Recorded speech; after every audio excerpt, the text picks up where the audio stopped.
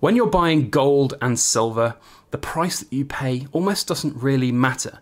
If you're holding it for 10, 15, 20 plus years, then in my opinion, it will come good in the end. But if you're looking for a short term profit or a quick turnaround, you are putting yourself at risk, and it is important to evaluate these risks when buying your precious metals.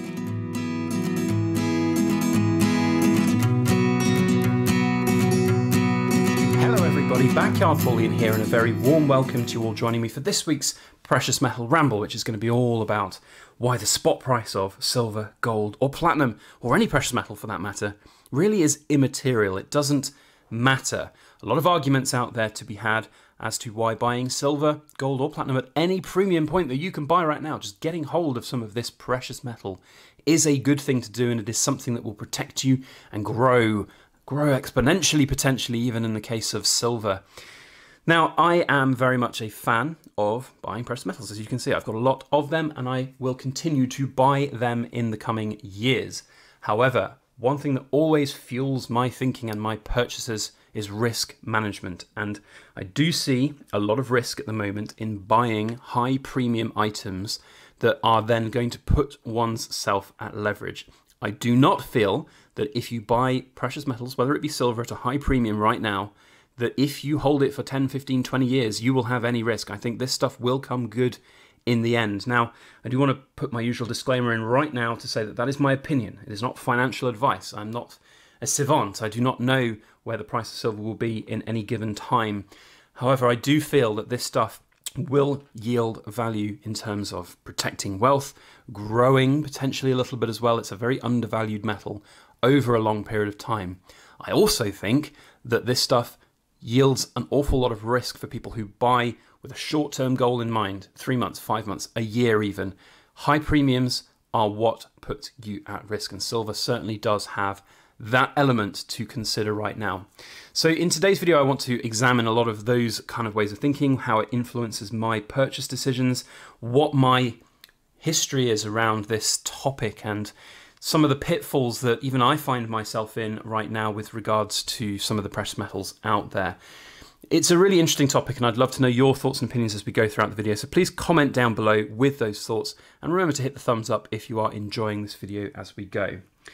Now, spot prices, they're the magical number that's powered by the wizards in Wall Street. Whatever you believe, it's a global commodity, it's a volatile global commodity. Silver prices in spot go up, they go down, they go left, they go right. Who knows where they might end up? There's a lot of people who think and have thought over this last coming weeks and last few weeks and months that silver should be over 30 by now, 35, 40, 50 dollars an ounce. And therein lies the problem. Expectations of a particular outcome for silver is a difficult thing to manage. If you are sitting there and you're expecting silver to get to $50 an ounce within a certain time period and then it does not happen, then if you've over leveraged yourself, if you've borrowed too much, or if you've borrowed at all to buy silver, that's something that I am very much not a fan of. But if you've over leveraged yourself and you get unexpected bills, or you lose your job, or something horrible happens in one's life, then you could be facing a time where these premiums that you've paid for the silver in your possession, or even platinum, platinum we'll talk about as well today, you could find yourself in trouble. And I've talked at length about why premiums are as high as they are right now. It's, of course, down to the demand that's out there, the bullion dealers, the refineries, everybody out there is struggling with the supply chains. There is no shortage of silver, though. That's one of the misconceptions that I think is out there right now. That there are, you know, there is this sort of absolute shortage of silver on the market. When you hear places like the U.S. Mint saying that there's a shortage of blanks for them, it's not that there is no silver out there. It is just simply that there is a limited supply of blanks. The refineries are selling their own raw material blanks for higher prices than they would to the mints. It's a supply chain issue, and it will come good in the end. When the supply increases, I think prices will come down a little bit. So it's really important to recognize this macro trend that we are in right now. Yes, there is financial hardship in the world. Yes, there will be inflation concerns going forward. And I still think that this stuff here, silver, is a good buy for the long term. So if you are buying lots of silver right now, or you're considering buying lots of silver right now, my best I don't, I don't really want to use the word advice because I'm not a financial advisor. I'm just a guy who talks about shiny things. But my best thoughts on the matter is to protect one's interests by making sure you have safety nets, by making sure that you don't overcommit to any particular asset. And if you are considering large purchases of a particular asset, then very much think about all of the different options which are out there. I've made a video in the past as well talking about how gold and silver we're on the same team. You know, there's there's this feeling that gold is not the thing to buy right now. It's silver that's the big big potential winner. I would argue complete opposite because silver right now, the ratio with gold, it's been so much higher in the recent past and it's now very much come down. It's certainly, I think, better to buy gold right now. That's what I'm focusing on. That's what I've been looking at over this last sort of three or four months, really. I haven't bought any brand new bullion grade silver for a while, but gold is what fuels my long term prospects just simply because the risk is lower and for the short term as well. You know, you look at this stuff, you never know what's going to happen in life. Yes, it's fantastic to have all of these precious metals and to enjoy them, and it's a, a you know it is a wonder. This one's I'm just going to give this a quick clean. This, by the way, is a complete bullion grade coin, so I'm really not concerned about the condition. Um, but that's part of the that's part of the aspect of it. You know, a bullion grade piece of gold like this with this rather nasty blemish on the queen's for, uh, on the queen's cheek there really doesn't make any difference to me. It's still got an ounce worth of gold in here, bought at a low premium. If I need to liquidate it at a short notice kind of period, if I need to get the money that I've locked in this coin out for an emergency, then I feel like I can, and I also feel like I won't be potentially losing quite as much for this particular coin. Now, uh, I think I've got this written on the back here. Yes, what I paid for it. So this coin was bought from Atkinson's Bullion in the United Kingdom. They're not sponsoring today's video, it just happens to be that's the one I've picked up out of my stash. And you can see the price paid for it. Back in 2018, £992. Now, that is fantastic in terms of growth. However, for the long term, this is how I look at it.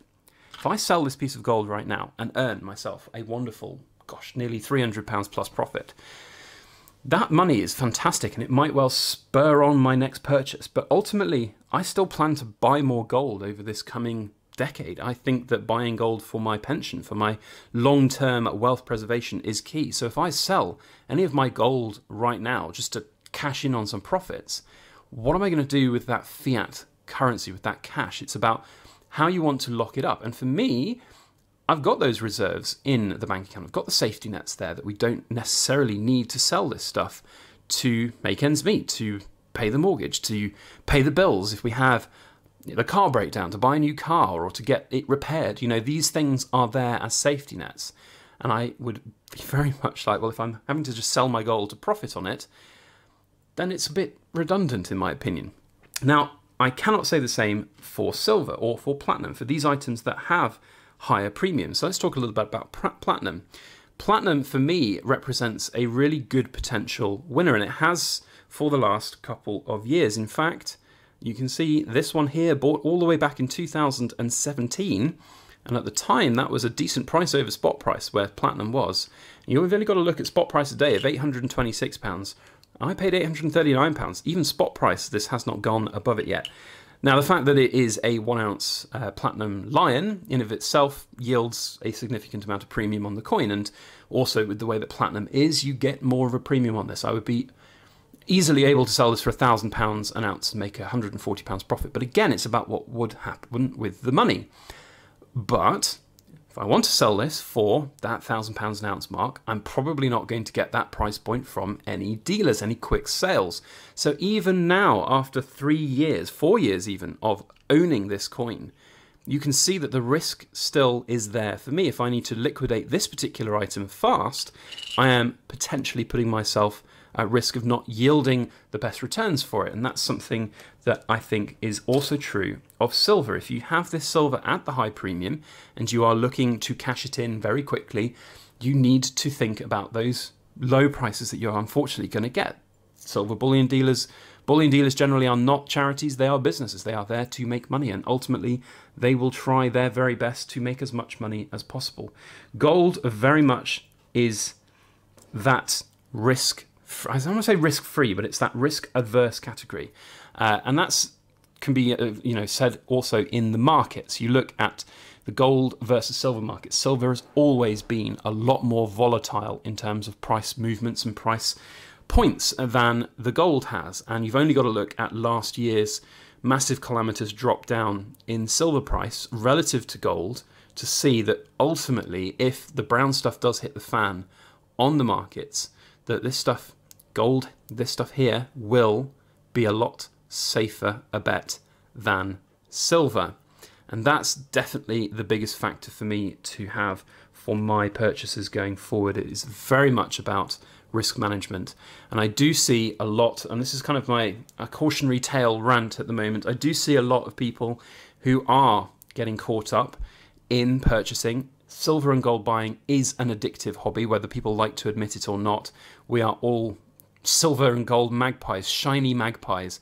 Uh, I know it's how I got started. I bought a small batch of my first silver coins, and almost instantly I was hooked. I, I just, I mean, you've got to look at it now. Six years later, I have a YouTube channel showing off gold and silver on almost a daily basis. You know, it is very much an addictive thing to buy. We know that shopping can be an addiction, buying stuff can be very much addictive, and people can get in an awful lot of trouble if they don't concentrate on that risk management. So for me, whilst this stuff is wonderful and I can sit here and I can buy it and I can enjoy the buying process, and to a certain extent, yeah, I'm I'm, you know, first step to admitting you have a, admitting you have a problem. I'm backyard bullion and I'm a gold and silver addict. I love this stuff. I think it's wonderful. At the same time, though, I do have the sensible risk management head on. So if I am buying lots and lots of money's worth of precious metals, for me, I feel a lot safer, a lot more secure in the gold than I do in the silver. Now, that's not to say that in the long term, I don't think this stuff will very much perform well. I think that if you are buying right now for the right reasons, then this is great. And yes, the premiums are high right now on this stuff. But to be honest, it's relative to what I've been buying my silver at over time. And, you know, the US customer base that's talking about premiums and mm, to, you know some people are moaning about them some people are not. For those that are moaning about the premiums on silver right now and thinking that it's a bad deal i sympathize. We've been there. For example these coins here which will have been bought pre-brexit where we would have been able to import them from the european union without having the vat added on there. These were still at about a 20% premium over spot price at the time. Now of course spot price at the time was an awful lot lower. So right now these coins, which were bought at about 150 to 170 pounds each, are very much enjoying those growth points. And that's fine and that's great. But again, it's about the fast sale and whether or not you can get that money out at the other end. Over a long period of time, though, I think we can all agree that this stuff will grow up in value. It's not necessarily going to be an overnight huge growth that I think a lot of people are wanting and expecting, but a slow, sustainable tick up over time to preserve wealth, to enjoy that insurance that precious metals give, is almost a guarantee. Now, again, that's not financial advice, and it, it is important to remember that you'll hear, hear so many different people with so many different agendas talking about silver and gold and how it is a surefire win that things will get to a certain point. But I think that if you are planning to hold this stuff over a 20 or 30 year period, the most important message that I will part with here in today's video is that you will be able to pick and choose the moments that you sell your gold, your silver, your platinum, whatever it might be. You will be able to pick and choose it if you hold it responsibly, if you need to release it for a house purchase, for whatever it might be at some point in the future. If you have planned properly, you will be fine regardless of what prices you pay right now. If you don't consider the risk, you are putting yourself at risk. That's the message I want to part with here on today's video. I am very much a fan of metals, and we are all here to enjoy and to precious metal invest. If you would like to share your opinion, please do so down in the comment section. It might well very much you know, digress from my own opinion. You might disagree with what I've said today. That's absolutely fine. If you want to have a healthy adult debate about this, then comment down below respectfully. There are so many people who are just so overtly opinionated on that silver will go to the moon anytime soon, that Basel 3 will cause gold to go to astronomical highs. I don't think those are likely, but I get that people feel strongly about it. But just comment respectfully, and we will engage with you down in the comments. Otherwise, hit the like button if you've enjoyed this presentation and tell YouTube that you've liked it. And if you haven't subscribed to our channel, consider subscribing because we make this kind of content on a weekly basis, and there's a good chance that you'll enjoy content like this that we make in the future. Otherwise, that is it from me. Have a fantastic week ahead. We'll see you on the next one. As always, please make sure that you like, share, comment, and subscribe for more.